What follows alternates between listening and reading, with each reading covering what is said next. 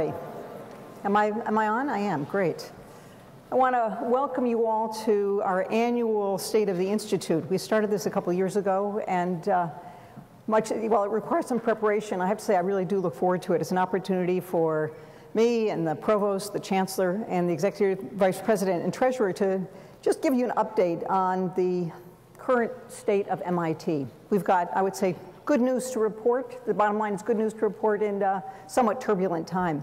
I just want to comment on the photographs you have been watching, which I find absolutely spectacular. They are all taken by MIT students, the uh, Technique yearbook staff photographers, and I just think they're absolutely fantastic. Another example of the extraordinary range of skills and talents of our, of our undergraduates. So I cannot begin without commenting that these are unsettling times. They're a little uncertain. And uh, no doubt there is no one in this audience who is not aware of the major reorganizations of the financial institutional landscape that is unfolding in the markets even as we speak.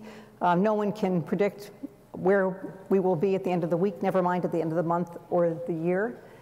And I just want to reflect that at a time like this, and I would say even more so than in normal times, it's wonderful to be part of a place like MIT.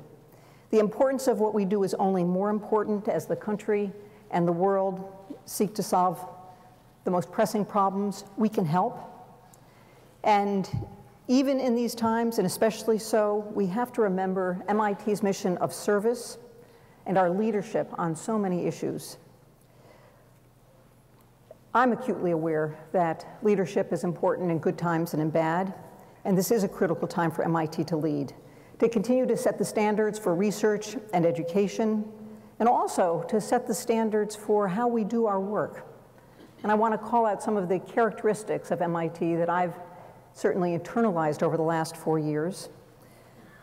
We set the standards for, uh, I would say, characteristic dedication to our work, for hard work, and for the integrity about which we, uh, with which we go about our work. Um, our mission is to lead in service in education and research, and it's important that we call out those roles, particularly now. Now, I am going to be focusing on our many strengths, and I would say only a few of our many strengths, uh, some of the sources of those strengths, I have to apologize for those of you who are involved in important and strength building parts of the Institute that I just don't have a chance to touch on today. Uh, if I covered everything that was exciting me about MIT, we'd be here all afternoon. Not only would you miss lunch, you'd miss the rest of the day. Uh, so I will only highlight a few that have come to my attention, but it doesn't mean that those that I don't speak about are any less important or any less exciting. I want to start with our finances, which is an area of understandable concern. The bottom line here again is that our finances are in really terrific shape. We have done a huge amount of hard work over the last two or three years to build a new framework that better harnesses all of our financial resources. And this work has happened in two different uh, parts, and I will, will describe them very briefly. But um, it really is readjusting how we work on our operating finances and also coming up with a new policy for how we use our endowment. First, we have restructured our financial framework to optimize the use of, or the balance between the use of our expendable and our endowed funds. This is a project that we've called rebalancing. It has been very hard work. Uh, it has been led by the Provost Rafael Reif, the Executive Vice President and Treasurer Terry Stone, Vice President for Finance Israel Ruiz, and lots of people in their offices, and lots of all of you. Uh, it's required work by the Department Lab Center heads and AOs, and you know, I don't know that we could count the number of people who have contributed to this. I want to thank you for coming together around an effort that has positioned MIT to face the future far more effectively than we have in the past. Uh, one of the products of this effort over the last couple of years is that we are operating from a balanced budget in FY09. This is the first balanced budget that MIT has had in many years. Now, many people say, well, if we can operate in a balanced budget year or a non-balanced year, why should we care? And I respond that we should care deeply about this because a balanced budget means we can focus on the future. We don't have to worry so much about what happened in the past and worry about how we're going to recover from the past. If we're operating from a balanced budget, it provides us the strongest possible platform to imagine the future. The second piece of this is that uh, we've adopted a new endowment spending policy, the details of which uh, you can find out if you need to by contacting us. But the basic message is this new endowment spending policy dampens the volatility. It will smooth the payout from the endowment, and it better balances the purpose of the endowment, which is to support the students and faculty, the research and education of today, and also preserve the value of the endowment for the future generations of faculty and students. Something we call intergenerational neutrality. We can't rob the future to pay for today, and we can't rob today to pay for the future, and getting that balance right is really important. Um, the reason why we have been so focused, excuse me, on smoothing the payout from the endowment is that the endowment now provides about 20% of our operating revenues for our budget. That's a big fraction. And if you look at how our operating expenses fall out, over a third of our operating costs are for people, salaries and benefits. And um, MIT is an organization that is first and foremost about people. Those people are all of you. And we want to be sure that we can steer a steady course. And to do that, we need a reliable and smooth payout from the endowment. Uh, speaking of the endowment, we reported some good news this week. The endowment returns for last year are 3.2%. That's the returns on the investment. Uh, lots of the other institutions that we watch very closely have been announcing their returns also, and they tend to be in the single digits, mostly clustering around the middle single digits like ours. Uh, there are a few institutions, several institutions that have reported negative returns. Uh, this is a cause for concern, but I have great confidence that our investment office, under the direction of our chief investment officer, Seth Alexander, excuse me, is doing um, the best job they can, and certainly the returns this year uh, speak to that. Um, as we look forward, I would say the uh, stratospheric rates of return of the past are likely to be in the past for quite a while, and there are more difficult times ahead. But the work that I have described, both on our financial framework and in our endowment spending policy, position us in the strongest possible way to get us through even challenging times. Many of you have asked me or one of us uh, what our plans are to deal with the financial turmoil. And I would say no one knows what's going to happen. We're monitoring the situation very closely, but for now, there, there's every indication that we're going to be able to stay the course with the budget that we laid out for this year. I think in good times and in bad, but I would say particularly now, our watchwords are prudence and vigilance, um, but I know that's the way all of us operate anyway. Um, they're particularly uh, more important today. So just to sum up this part, the changes in our financial framework and our endowment spending allow us to think about all of our finances, all of our financial resources comprehensively and fully integrated in MIT's decision making. And it really has happened. We've completed this work just in time to be in a strong position to weather rocky conditions that may lie ahead. Let me talk a little bit about our continuing campus improvements. We have some new facilities coming along. Most of us encounter them as we walk around the mess of construction. The sidewalk is closed here and you got to cross the street or there's some, you know, a new mud puddle you got to walk through. So I thought it would be important for you to actually see some photographs of what these construction sites are going to look like. Um, we have three buildings uh, coming along. There's a Media Lab extension for the School of Architecture. MIT Sloan uh, also has a new building, and uh, the building in the middle is the new Koch Institute for Integrative Cancer Research. For the Media Lab extension, which is a project with the School of Architecture and Planning, and the uh, MIT Sloan building, we have succeeded in a new approach to financing these magnificent new facilities. We have already raised 70% of the cost of these buildings, of both of them, and we anticipate having raised 80% by the time we open those buildings. Um, both of these buildings are going to provide really new opportunities, new intellectual directions. Uh, the Media Lab extension will provide an environment that's going to re link research and education in different forms of communication and in human augmentation, a very exciting set of projects.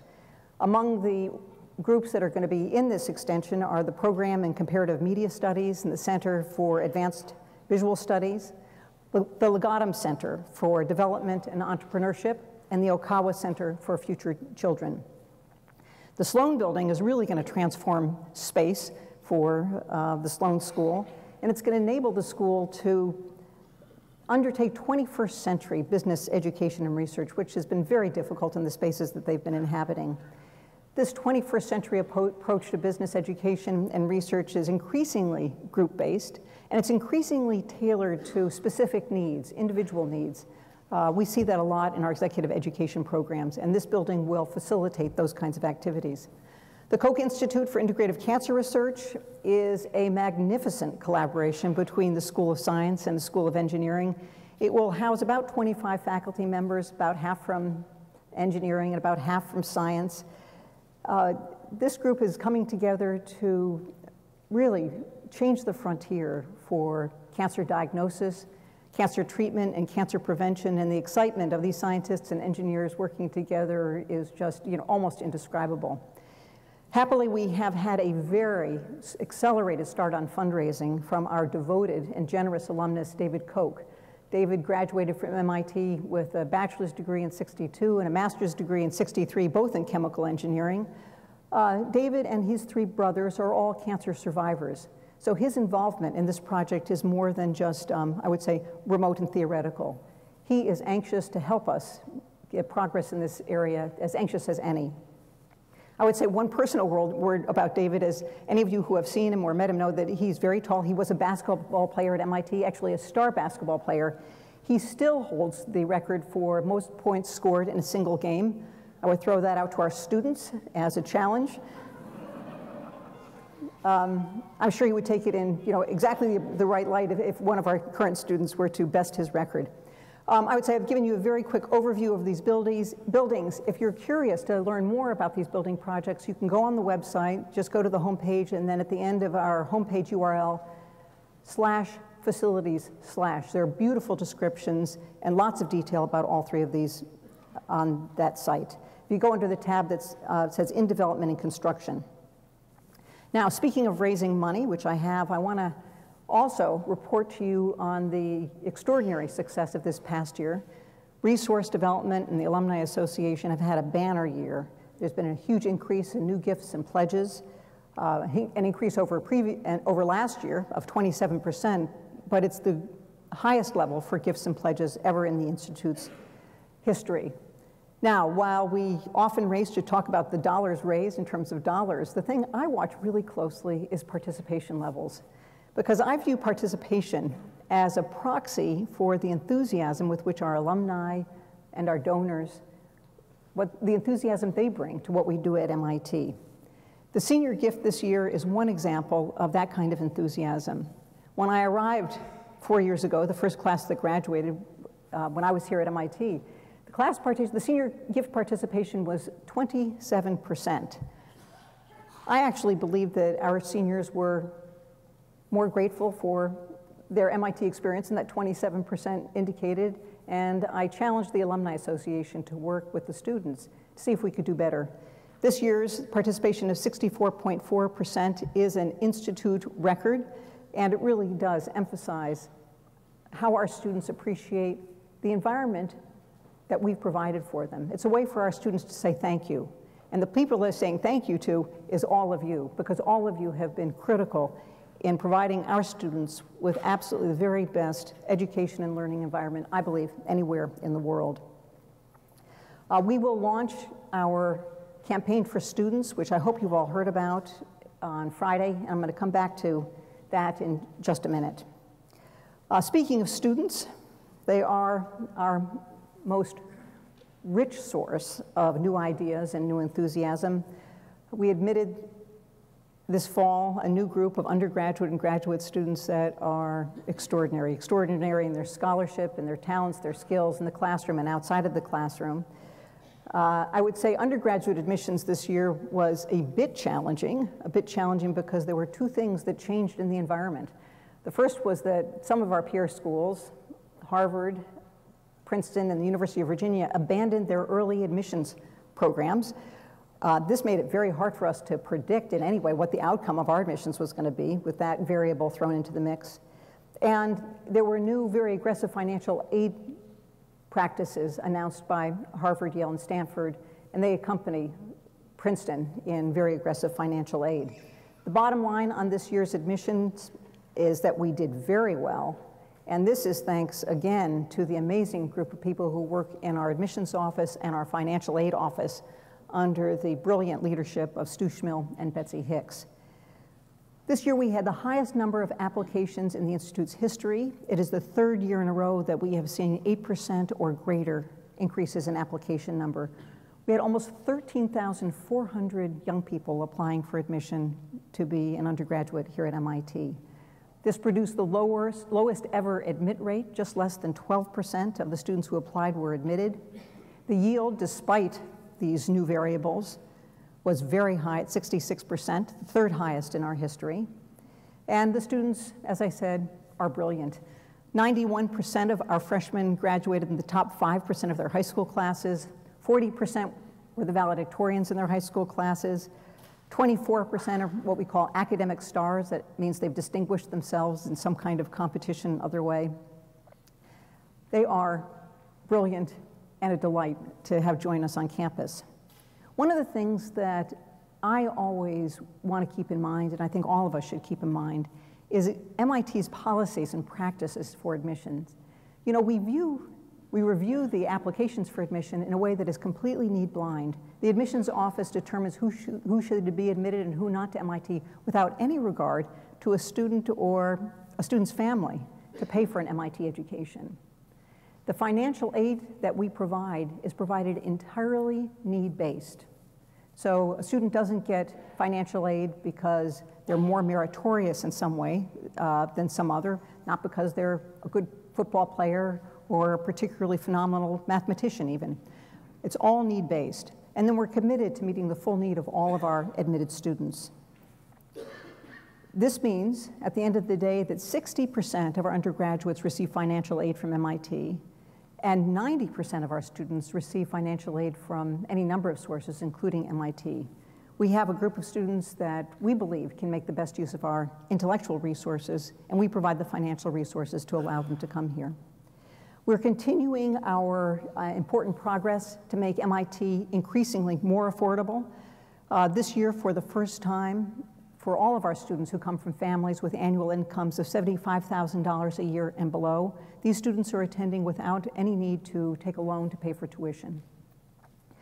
Uh, what that means is that among the students who receive financial aid, among the 60% of students who receive financial aid, the average tuition for that group of students is just about $8,000 a year, which is a very pronounced reduction from our standard, which is now well over $35,000 a year. I have to remind you that even at full tuition, the tuition does not cover even half the costs of an MIT education. So through all the work that we do, all the financial work that we do, we're really providing an enormously important subsidy for education. We remain committed to making MIT possible for all of those who can make the best use of our community, make the best use of our faculty, our staff, the other students, our phenomenal labs and other resources. Uh, the admissions landscape still has a lot of unknowns this year, and we're going to be monitoring the conditions and adapt as required. I have to share with you one story about a student. As many of you know, last January we got a call from the Senate Finance Committee from Senators Baucus and Grassley asking us to basically account for how we use our endowment in support of education. It was, um, I would say, not the most pleasant of experiences. The call went out to, I think, the, the schools with the, the 100 top endowments in the country, so a lot of schools were scrambling to answer pages and pages of questions from the Senate Finance Committee. I received a copy of a letter that was sent to the senators, and I want to read you uh, from this. It was a letter from a father of an MIT student uh, who's from South Dakota, who lives in South Dakota. And the letter begins by describing that he, like many people in that part of the country, is a family, comes from a family of modest means.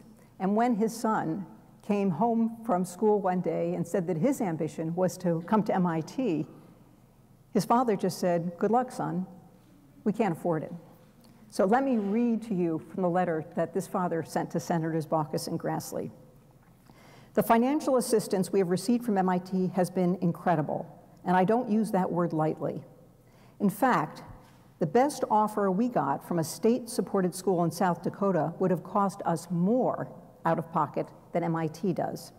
Furthermore, and I acknowledge the risk of perceived elitism here, MIT is truly a world class university. one of a very few that truly have earned that distinction within the United States. What serious student would not want to attend such an institution? Students who earn admission to MIT, and the key word there is earn, show academic promise combined with the willingness to work for their knowledge. And the students I have met impress me with their capabilities beyond standard academics. They are truly leaders in training in the sciences, mathematics, engineering, and other high demand areas. These are the young men and women who, in the next 20 to 30 years, will be called on to maintain this nation's leading role, leading role in the technological world. It is an incredible honor for my son to be included in this group, and that honor would not be possible if not for MIT's financial assistance for its students. I couldn't have said it better. Let me move on to make a few comments about teaching and research. Um, it's what we do here. It's what inspires us. It is our mission. And of course, our faculty sit at the very center of our research and education enterprise. It's hard to describe just how brilliant and productive our faculty are. Uh, one way is to just pay attention to the awards they receive. Um, it seems to me that hardly a week goes by when someone hasn't received some astonishing award. And in fact, just in the last week, it was announced that Two of our faculty received MacArthur Genius Awards and three received NIH Pioneer Awards.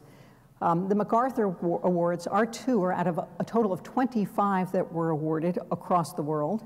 And as I said, we know these as the MacArthur Genius Award. Uh, the Pioneer Awards, there's a new award from NIH. The three that MIT faculty received are out of 16 that were awarded across the country. And these awards, these grants, go in recognition of exceptional creativity. In the spring, several of our faculty, five new faculty, received Howard Hughes Medical Institute Investigator Awards, HHMI Awards. This is about, you know, among the highest uh, recognitions of achievement in uh, science and also now in engineering. With those five new HHMI investigators, it brings the total at MIT to 19, which is more than any other institution in the country. And I would say, while all this is wonderful, one of the HM, HMI Investigator Awards calls out what really sits at the center of what we do at MIT, and it's the integration of research and education. Professor of Chemistry Cathy Drennan is one of our new HHMI investigators, but she previously had been recognized as an HHMI professor. The HHMI professorships go to individuals who have particularly distinguished themselves in teaching, and have shown a passion for innovative ways of conveying their subject in the classroom. Professor Drennan is the only person in the history of HHMI to have received both an HMI Professor and Investigator Award, and I would say nothing could speak more deeply about MIT's commitment to the integration of teaching and research. Um, there was yet another set of honors for uh, Institute Professor Bob Langer, including the Millennium Technology Prize, which is given for technology innovation. Let me talk a bit about our strength and service to the world. This is part of our mission. The world is hungry for the kind of solutions that MIT provides. The institute-wide MIT, the MIT Energy Initiative, which is institute-wide, is just one example. Ernie Moniz has been doing a terrific job as director and Bob Armstrong as deputy director. Every week, there is a new breakthrough that I read about in the newspapers, and they come from every one of our five schools. On campus, the Energy Initiative is taking form in the uh, Task Force on Campus Sustainability. Terry Stone will be talking about that in her comments uh, in just a minute. And one of the great achievements this year is that there's growing awareness of MIT's contributions outside of campus campus. The Economist, in their June 21st issue, had an entire section devoted to energy. And I would say almost every page mentioned something that came out of MIT. Not branded as such, but MIT was all over this particular issue. MIT continues to have an important voice in DC, particularly around energy. There were MIT faculty witnesses on 23 congressional hearings on energy over the last year and a half.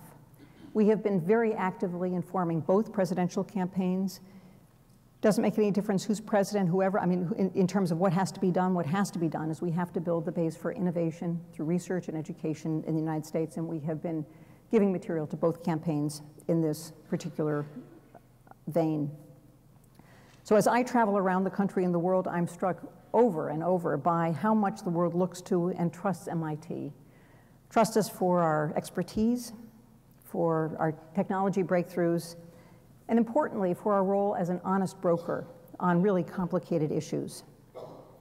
We're continuing to build academic strengths at MIT, following on from the Energy Initiative. The provost announced last week a new Environmental Research Council, which will extend the Energy Initiative's work into broader issues in the environment. He'll speak to that later.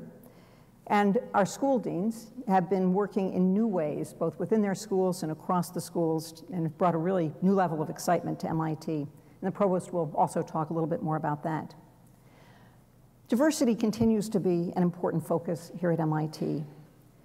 There is no question that we need the contributions of all who want to participate in a science and technology centered enterprise we can't leave, leave out the women, we can't leave out the minorities who want to be part of this work. We need all the strength we can get. You know, at MIT, we don't actually need to talk about excellence of the highest caliber as we admit students, as we bring in faculty, as we hire staff. It just goes without saying. And we would hope that at some point, a diversity goal would be similarly internalized. There's lots of important work going on. I can't list all of the activities, a few are on the screen. Uh, last year was our first with our new Associate Provost for Faculty Equity, Institute Provost Barbara Liskov, serving mainly uh, issues around women, and Professor Wesley Harris, serving is, issues predominantly around minorities, but the two of them are working very closely together and with our faculty. I want to call out one upcoming event. It's the Diversity Leadership Congress that will be held November 18th. The purpose of the Congress, Congress is really to spread the mantle of leadership more broadly through the Institute. We will gather together about 300 of the academic, administrative, and student leaders. Their role is to participate in the conversation of the Congress and then to bring what they learned at the Congress back to the people they work with and talk to. The goal is to widen and strengthen leadership for this key issue.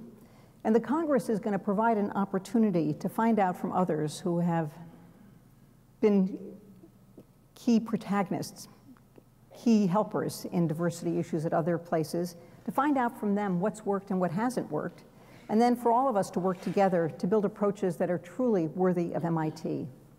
What's important for everyone to understand about the Diversity Leadership Congress, it, it is a conversation and a planning session. It's an opportunity to together understand what's possible and how we can accelerate our progress. Let me close by returning to our students and how we're building strength for them and from through that, through our students, building strength through the world. I want to start with a short video clip from some of the materials that we've assembled for the Campaign for Students. Let's watch the video. I was interested in what drives personal happiness how does working on challenging technical problems propel a person and motivate a person and make them wildly happy to be alive? What I've learned at MIT we can listen and learn as much as possible from other people and their experiences, doing things that are not selfish or self-centered in nature, but doing things that are really to the benefit and service of all humanity. I really like biology because there's a good chance that you'll be helping people. If not in your lifetime, the research will be helping people sometime in the future. You can see where it's going. Ultimately, I want to be able to help any sort of individual who actually suffers from these sort of behavioral disorders because ultimately they are absolutely devastating. I want to help people building a device that's going to save lives. Like I never imagined that I'd be doing that. The dedication of our excited engineering work has that kind of direct benefit that's perfect. I grew up to love cycling because it epitomizes everything else in my life. It's this constant struggle against yourself to be the best person that you can be. How do we not just limit the bad things? How do we really create true value, wealth, happiness, joy, peace? What does it take? What do you do if you want the world to be awesome? You know, how do you spark that? How do you make that happen?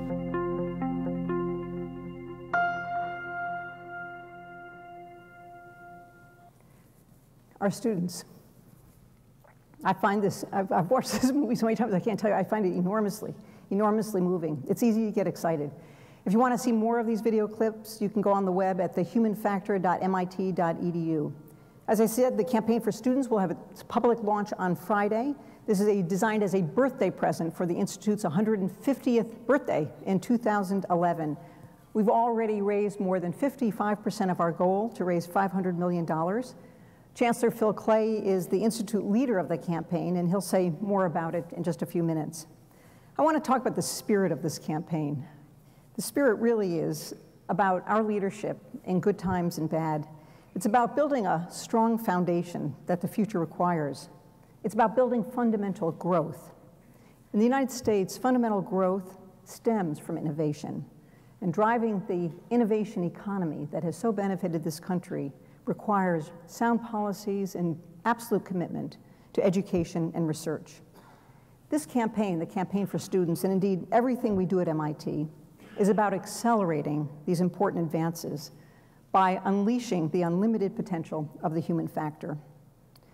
So MIT has strengths in many areas, and I want to close with just one last piece of evidence, as if you needed any more. I'm going to read from a letter from a grateful scholarship student, one of the 60%, to the donors of the Scholarship Fund. This was a fund that was given to us by Dick and Ginny Simmons, who are among our most generous supporters. You can see him, them here with their students. Uh, their generosity you can see all over campus in what they've done in the past, but currently it's in evidence in the renovation of Vassar Street West. I mean, what spectacularly committed and devoted donors we have to help us repair a road. That's really dedication. Anyway, case, the letter from the student begins with an account of his freshman year, which included starting a business with four other students, a trip to Mongolia to study the emerging coal mining industry and to work with one laptop per child. And then he closes with a description of a meeting with his friends, excuse me, after final exams. Present excuse me, were three Iranians, two Indians, a Pakistani, three Americans, including myself, a Haitian, and a Chinese. One of the Iranians wrote some of the code for the robotic spacecraft that recently landed on Mars. The Haitian won last year's 200K business competition for his team's development of a low-cost, high-efficiency water purification, purification system for use in developing countries. The Chinese fellow runs a small but rapidly growing venture capital firm focused on student startup companies in China and the US. The Pakistani is one of the top theoretical physics majors at MIT, attending on a full scholarship. Looking around that gathering, it was clear to me that the diversity of the attending group was rivaled only by the motivation and innovative capacity of its members, a circumstance which I think fairly well sums up MIT in general. What can I add? That's why we're all here and what keeps us working so hard to make this the best possible place for education research. There are challenging, times ahead, to be sure, but we will work together to face them, to adapt as conditions require, so that we can continue our important service to the nation and the world. Now we're going to hear from the provost, the chancellor, and the EVP and treasurer, uh, treasurer, and then I hope we'll have time to take questions. Next up is the provost, Rafael Reif.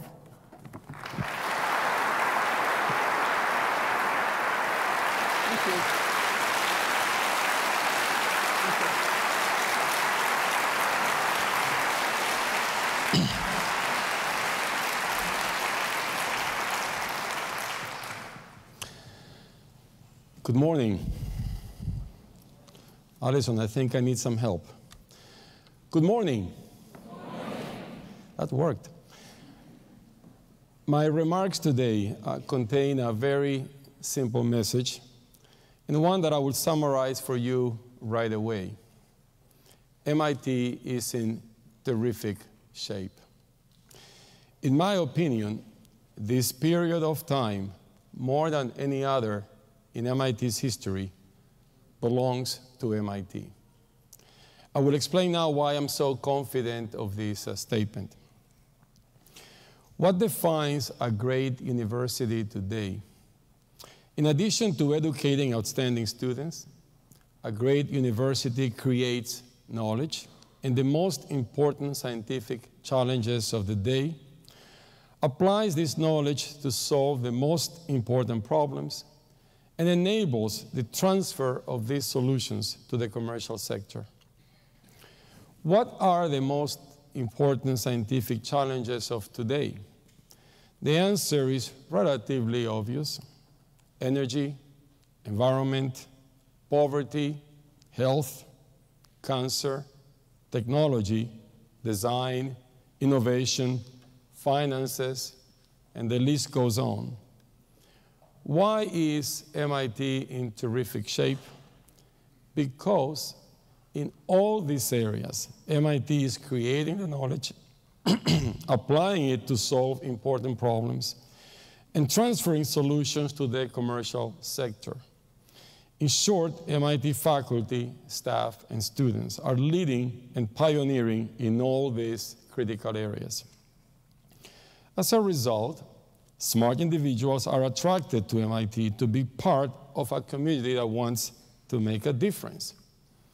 A unique feature of the MIT community is the way it goes about working on important problems. MIT operates as a single community, where, for example, researchers from one department collaborate with scholars from other departments or schools. In CSAIL, for instance, computer scientists collaborate with engineers and with math researchers. In CMSE, chemists, physicists, material scientists, and engineers collaborate with each other. Working in areas that matter as a single community and creating new knowledge, disciplines, and curricula have been the hallmark of MIT.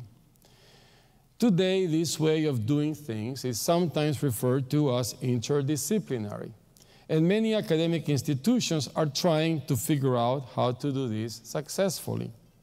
MIT has been doing it for over 60 years, starting with the creation of RLE, a research lab of electronics, in 1946.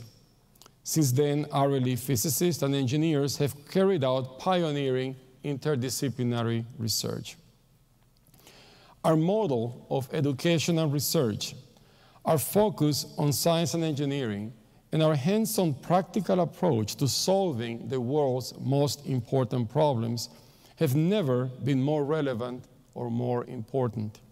This is why I can state with confidence that this period of time belongs to MIT. Let me now give you some more specifics. At MIT, each of our five schools is a leader in what they do, and each school benefits from the presence of the other four leading schools. In addition, our schools benefit from MIT's unique science and technology focus. Our collective goal is to continue to be the institution that attracts the best and the brightest. That is why, since early this year, our five schools have been engaging on what we are referring to as a visioning exercise. Each school is examining what they do and defining their vision as an MIT school and as a leading school in academia. There is not enough time for me to share with you all that the deans are doing, thinking, and planning, but I will try to give you just a few samples. Researchers in the School of Engineering are figuring out how to build electronic gadgets, such as cell phones and PDAs, that do not need batteries. Their goal is to develop electronics that can be powered completely using scavenged energy. For example, using vibrations or body heat to power electronic devices. The research involves developing microgenerators as well as electronics that consume minimal amounts of energy. This group is working on an energy processor that can convert vibration energy to electric energy. This research will enable a number of self-powered microsystems, such as implantable medical devices that can be powered indefinitely. If you want to know more about this work, check the website of the Microsystems Technology Laboratories. In the School of Science, some of the most exciting advances involve the convergence of the life sciences with the physical sciences and engineering to understand diagnose, and treat diseases. For example, in cancer research, rapid sequencing at the Broad Institute has identified new genes, and the Koch Institute is bringing together life scientists, who study the biology of cancer, with engineers who are finding new techniques for detection and treatment. In addition, neuroscientists, cognitive scientists, and engineers are doing similar breakthrough research in brain disorders, such as autism and Alzheimer's. SHASS is planning an exciting global studies program for undergraduates. The program would offer undergraduates the opportunity to study the subject of their major, usually science or engineering, simultaneously with a deep study of a particular region of the world. These global studies scholars would work closely with their advisors and with faculty from all five schools who are interested in the same region. Students would study language as well as the literature and social sciences of their chosen regions. This academic work would, supplemented, would be supplemented with co-curricular activities such as MISTI internships, IROPS, and other international programs. MIT Sloan just launched a Master of Finance program. Recent events in Wall Street suggest that the world's financial system needs the kind of business leaders that MIT uniquely develops, with deep knowledge of uncertain, complex systems. In addition, faculty members at MIT Sloan are conducting research on sustainable economic development.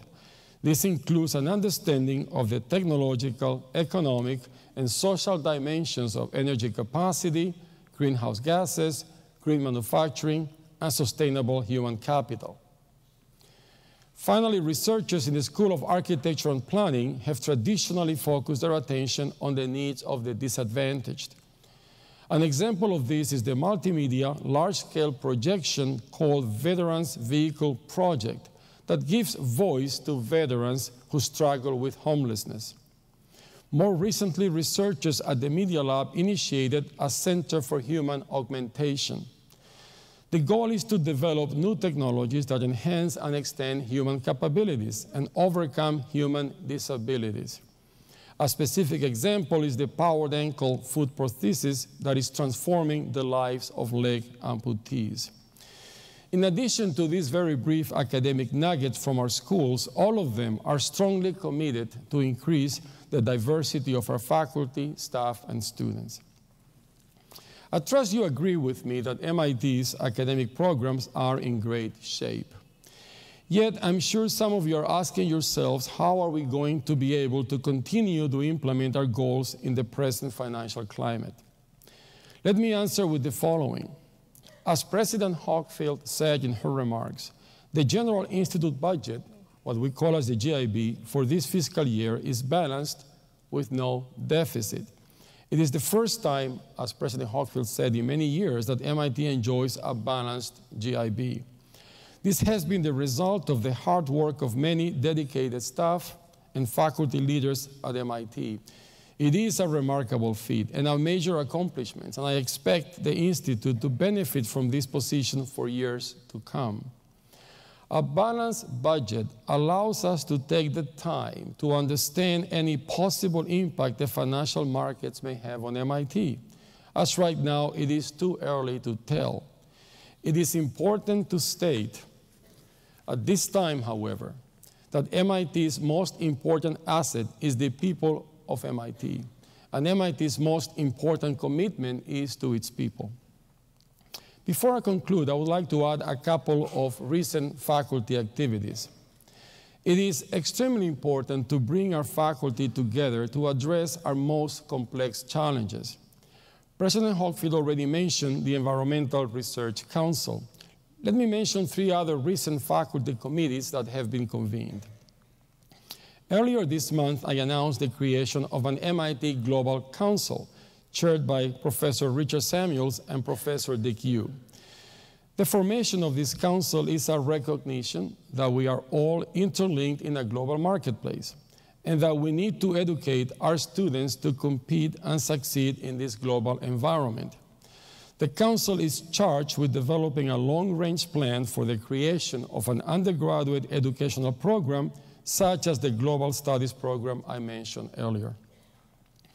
Two additional ad hoc faculty committees were created them as a result, just as a result of the increased complexity of our research enterprise and our tech transfer activities. One of the committees is focusing on managing potential conflicts of interest in research. The chair of this committee is Institute Professor Sheila Widnall. The primary focus includes a review of activities that could give rise to conflicts of interest, an examination of our existing policies and procedures, and a review of what we do today to monitor possible conflicts of interest. The committee is expected to recommend possible changes to our policies and procedures. The other committee is focusing on MIT technology transfer for the 21st century. The chair of this committee is Professor Charlie Cooney. The primary focus of this committee includes exploring ways to accelerate technology transfer and review principles that govern our industrial engagements. Whether it is launching a new academic program, or making a new discovery, or launching a new initiative, or transferring technology that will revolutionize an industry, the success of each of these efforts depends in great measure in the people in this room. As President Hockfield noted in her remarks, the only limiting factor in what we can achieve together is the human factor. MIT is about the people of MIT. I started telling you that this time period belongs to MIT. I explained that this is so because of the work we do and the way we do it. But MIT's success is primarily due to the people of MIT. I've had the opportunity to work directly with many of you. I'm proud of working with you, and I'm proud of what all of us have accomplished together. Let's remind ourselves of the tremendous legacy on our collective shoulders, the legacy of working at one of the best education and research institutions in the land. Let's work together to make the following statement a reality. MIT's best years are yet to come. Thank you.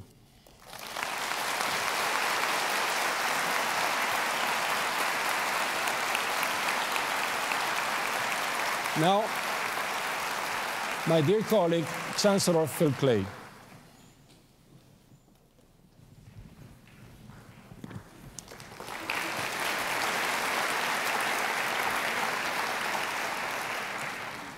Good morning. There's still some morning left.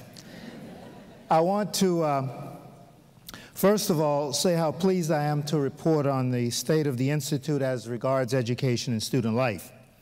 I share Rafael's view and Susan's view that we're in very good shape, uh, and this uh, is very encouraging as we move into a difficult economic period, as well as a very hopeful exercise with our uh, alumni and friends in raising support for the Institute. Our mission is to provide the resources and support to students in their journeys of discovery and intellectual and personal development. And in campus life, we seek to ignite creativity and leadership and service because these are the activities on campus that will allow our young people to go out with great confidence, uh, not false confidence, but grounded confidence in what they know and in what they can contribute. Against the goal we have, we've come a long way in the last few years.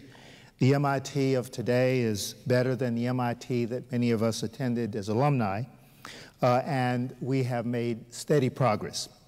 We recognize the challenges that remain. We are positioned to perform against our mission and to perform well. I'm positive that we are on the right track. I'm particularly noting today that we have made a number of efforts over the period of the last 10 years, that is, since the Task Force on Student Life issued its report in 1998, to improve student life. Faculty, staff, and students have made many contributions over this decade to achieve the goals set forth in that report. Each year we made uh, progress, and this past year has been no exception. We also note that the Faculty Task Force on the Education Commons uh, continues uh, uh, to have insight about how we advance and improve our educational offerings. Uh, some of the work for implementing the recommendations of that task force have already been taken, and the faculty continues to wrestle with other aspects, and we hope that wrestling will uh, come to an end this year. The class of 2012, by every measure, grades, test scores, diversity, accomplishments that they bring with them to this campus in the arts, leadership, and public service, uh, is the best ever uh, and is without peer uh, in talent or promise. The number of applications, as President Hockfield identified uh, in her report, uh, all of them, all of these indicators are positive as well. But I want to report, uh, based on uh, uh, conversations with students and families, that the students have come here with a great deal of enthusiasm and continue to have it. Not just those who came here in September, but those who are proceeding through their undergraduate and graduate careers as well. Now, you will recall last spring that uh, there was some worry uh, that the more generous aid offered by some of our peers would have an adverse effect on our enrollment goals uh, and on our uh, diversity, economic and otherwise. Now, we expanded our support almost 10% and did a number of things that were very creative so that our final enrollment this year uh, is as strong as it has ever been. Now, we're mindful, as we will discuss in a moment, that we will continue to have challenges and that we will work very hard to meet those challenges. We learned in the process that we're on the right track, but we also learned uh, that uh, each year there are new challenges, and we will wait for what the challenges are this year for enrolling our next class. You will also note that in the recent rankings, MIT and many of its departments and schools continued in their usual leadership status. It's true for MIT as a whole, and as Rafael indicated, it's true for departments in all five of our schools. We provide an increasingly rich environment for students, the physical environment, the academic environment, and the community environment for life and learning. And I want to pay particular attention to the physical improvements that have been made on the campus in recent years, both major capital projects as well as the renovation of new buildings and uh, uh, other parts of our infrastructure. Uh, all of these enhancements have helped as well. Now, we opened about uh, six weeks ago New Ashdown, W35, uh, and it's a wonderful new facility, but more importantly, it is the linchpin in a new community, the Northwest community, where there are now more than 1,500 graduate students who call the area home. Several thousand of you showed up there three weeks ago for a community picnic demonstrating that the distance there is not far. And developments uh, in the opening of the new dorm point to its emergence uh, as a real uh, community. We had no master plan, I must admit, for this graduate campus as it has turned out to be. Our decade of muddling through has yielded a wonderful space which students have embraced uh, and are committed to making it their own. But muddling through is not a sufficient strategy. And we're working very hard as we renovate the W1 or the old Ashdown building uh, to enhance uh, the Western campus uh, so that it is transformative in powerful ways for student campus life, whether it's uh, uh, dining or in uh, academic activities that bridge the east and west side of the campus. Uh, we are working very hard, and a group of students are working very hard to ensure that W1 joins us in two years uh, as a strong new linchpin on the western part of the campus. By 2007, it became clear that we uh, knew we had to do some new things to secure our standing as a leading university. We saw the evolving shape of our own ambitions and the environment in higher education and we saw that they required that we needed more resources for financial aid uh, for our students uh, and to support our academic and student life initiatives.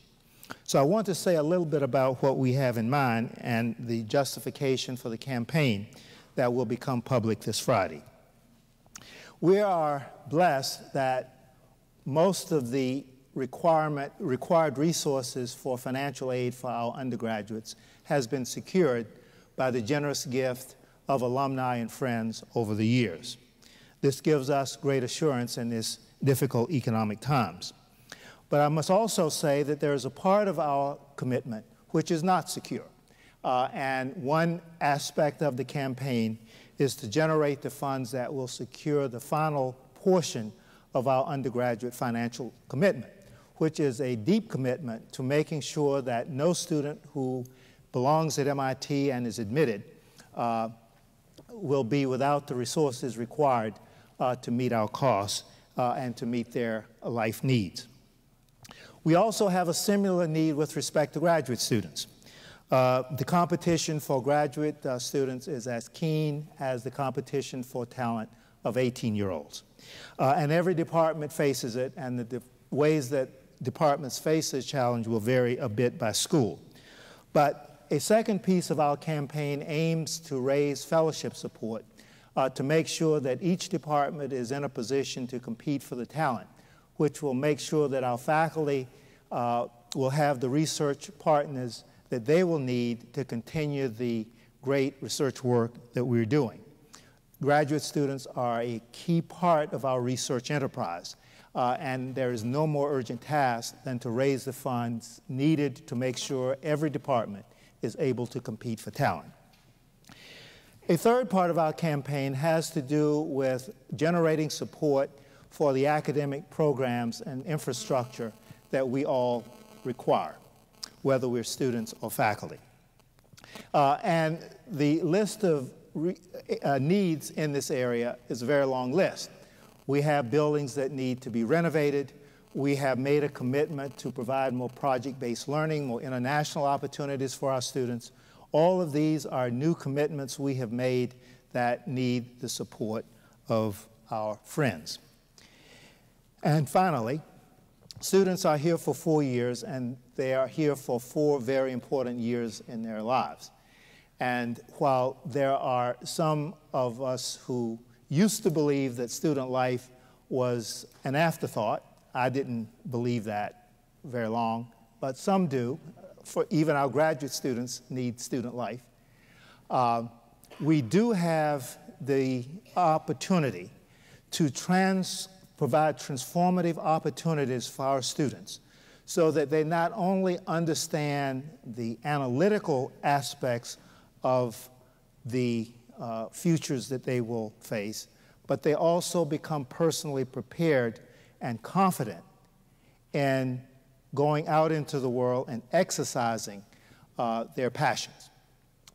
So, student life is an important part whether we are trying to make sure that our athlete, athletes are sufficiently coached and equipped, or providing uh, support for the more than 300 student organizations, or making sure that there are staff who will help students as they take advantage of the opportunities.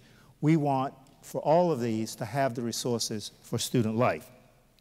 Now, over the last year, I've had the pleasure with many of my colleagues to go around the country and make the case for the campaign for students.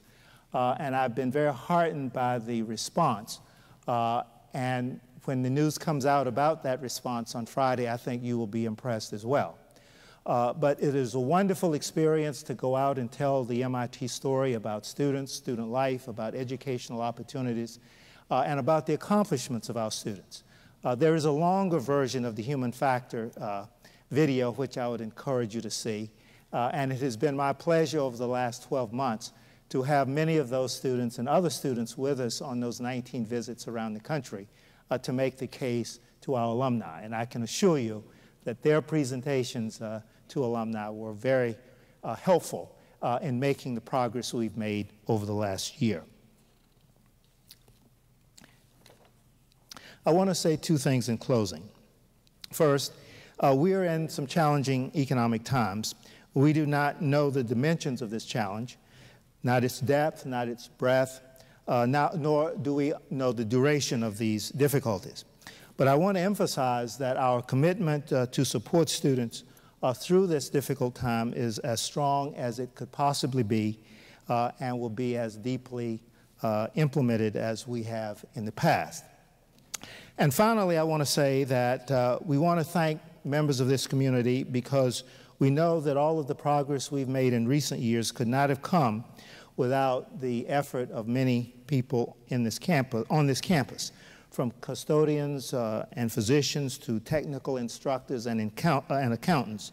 We have greatly improved the infrastructure to uh, support our students, uh, and they appreciate it. And I can assure you of that from survey materials that we uh, keep track of. Uh, and I think we are in a great position to build on this for the years to come. Thank you very much, and I give you Terry Stone.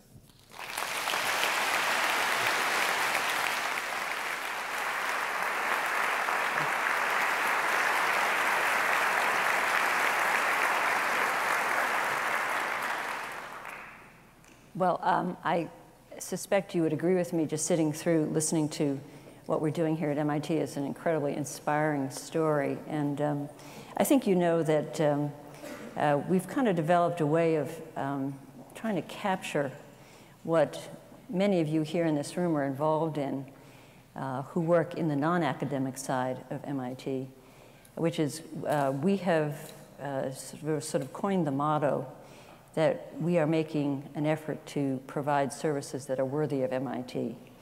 And we know that MIT is at the very, very uh, top of the world in terms of science and engineering teaching and research. And what we want to do what we aspire to do is to attain and sustain a level of service for the Institute that's worthy of it. And I know many of you in this room are involved in doing that. Um, many of you uh, who are on the academic side are involved in encouraging and giving us feedback so that we can do that. And I think we all feel as if uh, we're really uh, got some terrific momentum in really all the areas. What I want to do is not talk about that specifically, but just spend a few minutes on one particular initiative that involves people all across campus and collaboration uh, from all the um, far reaches of the Institute, and that is the Campus Energy Initiative.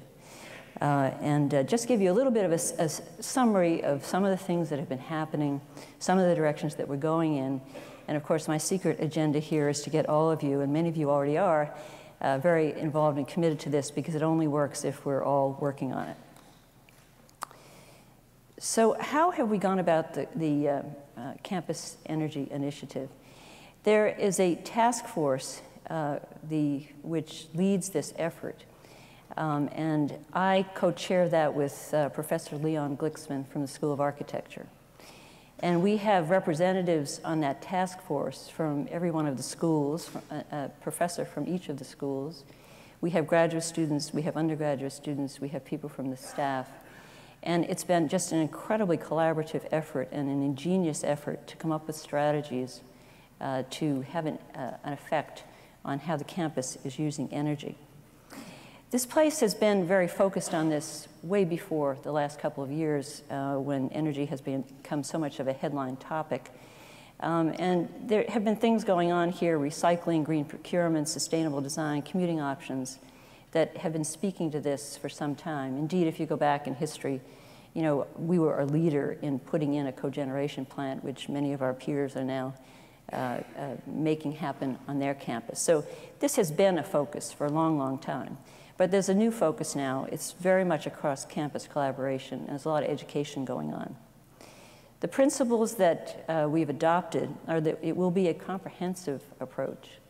So the utilities, uh, the transportation aspects, computing, sustainable design, education, and very clear understanding that it's not just the engineering solutions which are critical, but it's also the behavioral solutions because much of the difference is going to happen because we have uh, behavioral changes in how we all uh, use energy on the campus. It's extremely ex inclusive. We've got students, faculty, and staff, multidisciplinary, um, collaborative problem solving.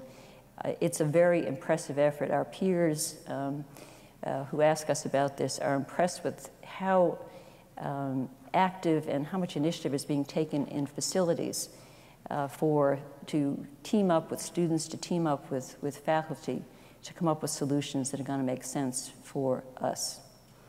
And it's also very disciplined. We have really insisted that you can't make progress on these things if there's no economic underpinnings to them. And so, uh, with the help of our colleagues from around the Institute, we've got a really good return on investment approach to this. And we hope that in all of this, we're going to be able to model good practices that will have an influence and be useful to uh, individuals in other campuses and other big organizations. So those are the principles, comprehensive, inclusive, and disciplined. This is just a graphic that sort of restates what I just said. You can see in the three balls on the, on the one side of the chart, academic units, student engagement, administrative departments, and how they overlap. Uh, there's an organization chart there about the Energy Initiative, which of course is the overriding group that uh, leads energy uh, on energy uh, issues here on campus with the Energy Council.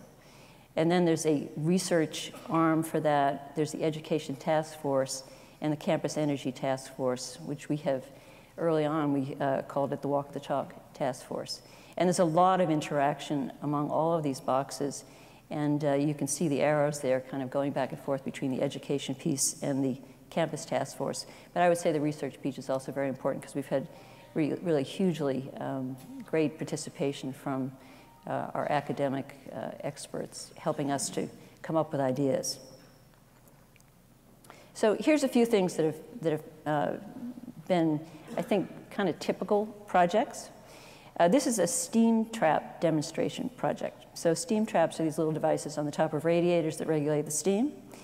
Um, and what you can see there is a picture of the two East Campus dorms, the so-called parallel dorms.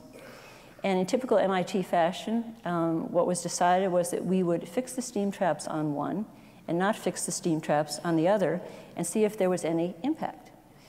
So what you can see at the top uh, is uh, the uh, dorm that did not have the steam traps fixed, and that's how much energy it used, how much steam it used all throughout uh, from January to February uh, in the, the demonstration year.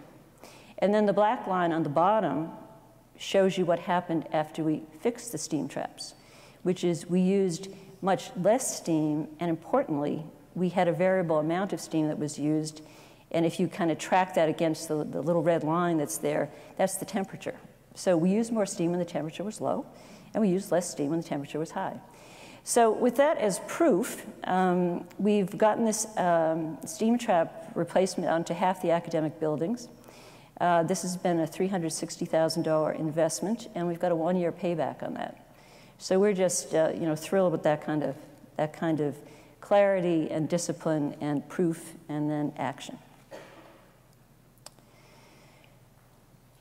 This is another one which is ongoing. This is the chemical fume hood use if you were to say, to use a, a term, where are the big energy hogs on campus?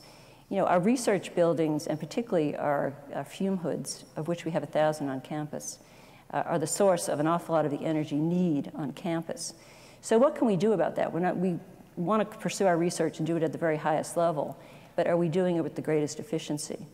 So the chemistry department was a great partner for the um, Walk the Talk uh, group on this and agreed to make some experiments in the chemistry building. And you can see on this uh, two levels of um, uh, activity, what we were able to do, um, the sash heights, which is the sash being the, uh, the device that you pull up and down and, and that closes the, uh, the face of the fume hood.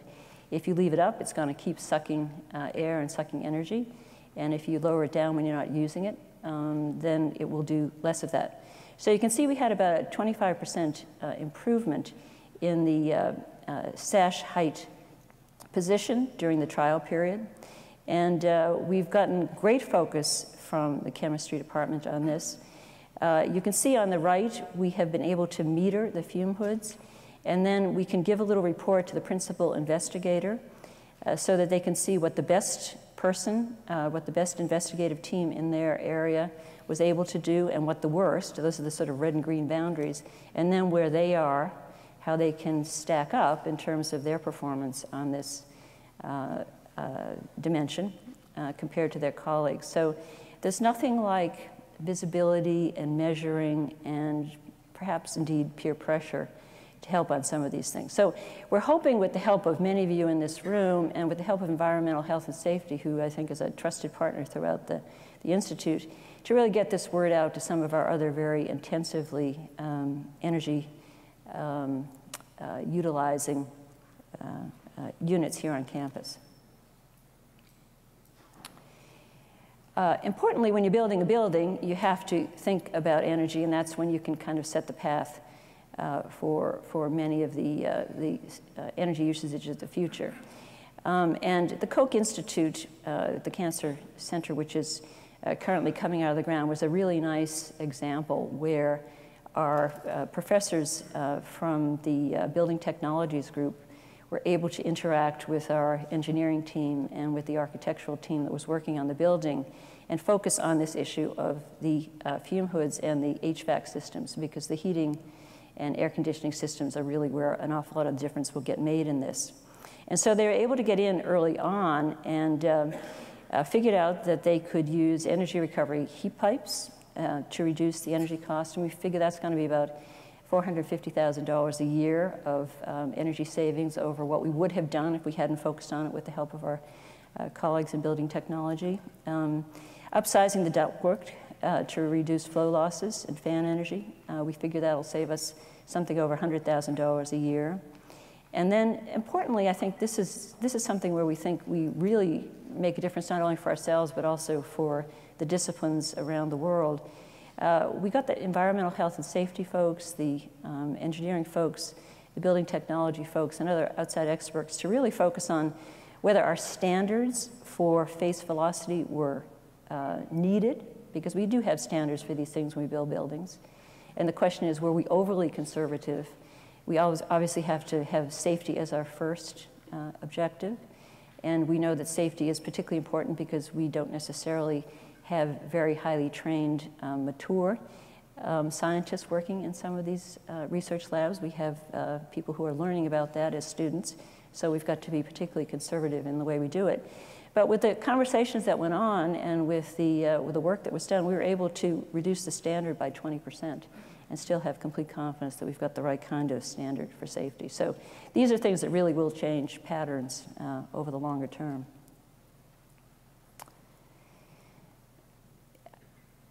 in a certain way, standards for new buildings is the easy part. Uh, we have an enormous amount of campus that is, has 100-year uh, histories to it. Um, it has, it's what they call in the uh, architectural world the built environment. Our built environment, as you know, um, has a lot that needs to happen for it to be really energy efficient.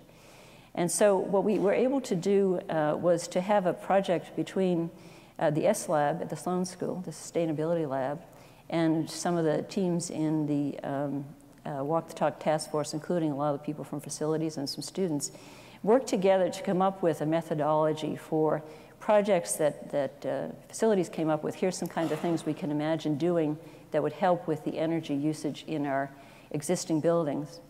And then uh, how would we think about the economic impact of those, the cost benefit of doing them? Um, and so the, you know, one of the benefits, of course, is that you save energy, but the, the saving of energy is also um, uh, connected to the economic savings and the economic cost of getting there. So they developed uh, what they called the carbon mitigation ma matrix in this uh, SLAB project. And we're able to um, do the return on investment analysis for a whole portfolio of projects that uh, facilities was able to come up with, uh, and then to rank order them. And we uh, decided to cull from that uh, things that would have less than a three-year payback to see if we couldn't just start to get some traction. And also, if we got some traction, to take those savings and then to reinvest them into the next round.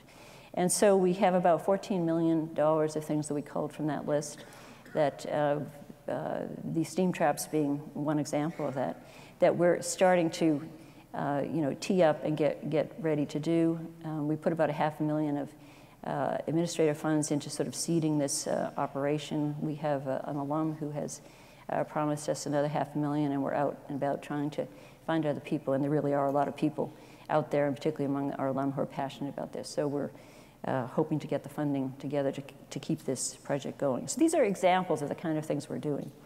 And we're going to focus a lot this year on the research enterprise, on things like the fume hoods, where we really do have major energy consumption And that is a subsector of the overall behavioral task force. We have a task force that just focuses on if people change behaviors, scientists and uh, students, whatever, uh, what will make a difference. So uh, we're going to focus on that this year, and we're going to focus very much, as we always do, on measurement um, to really prove to ourselves and to demonstrate how you should, in a disciplined way, measure what you're doing and be able to, you know, aggregate that up into, into progress. So um, that's a, a, a, brief snapshot. I hope uh, it will whet your appetite. There's uh, uh, never too many people working on this across the Institute, so we look forward to uh, working with all of you.